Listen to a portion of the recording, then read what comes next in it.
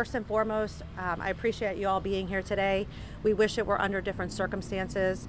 The tragedy that occurred at our store yesterday uh, for the community, for our Publix family, and for the families of the victims, um, our hearts and thoughts are with them.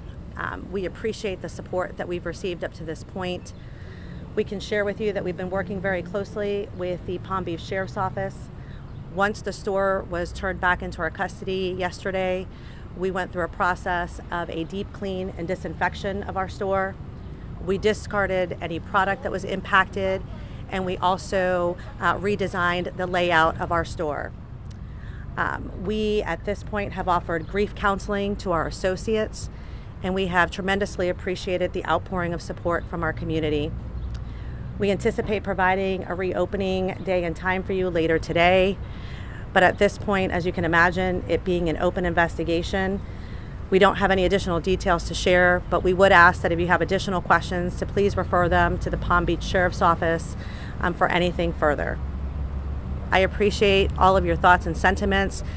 Um, and we ask that you respect that this is a difficult time for the community and our associates especially. Um, and please, you know, respect that part as they return to work and as you see them working throughout the day. Thank you.